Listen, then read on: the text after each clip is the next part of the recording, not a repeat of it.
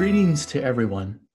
I entered the Glenmary Home Missioners, a missionary society of apostolic life, uh, back in 2005.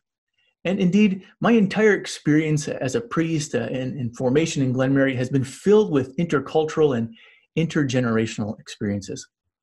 I remember when I entered the community and lived in our house of formation, it was such an intercultural experience that we all had to work intentionally in order to communicate with each other it certainly taught me a lot about patience and to put aside any assumptions that I might have and simply try to understand the other.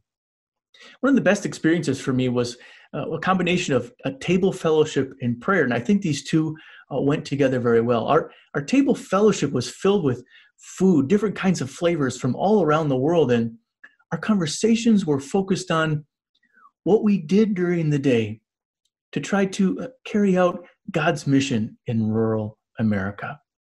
And we would take that experience of table fellowship uh, to our prayer, where with diverse forms of prayer, we would ask God to strengthen us and, and give us grace to continue to do his mission in this world.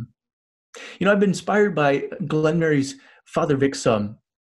He's a you know great priest and a person who's open to all kinds of peoples and cultures. And he, he's taught me many things. And one of them is when working with the, the people, especially people from other other cultures, to listen with an open heart. You know, in a world that is sometimes filled with division, I see religious communities reflecting the unity and diversity that God desires.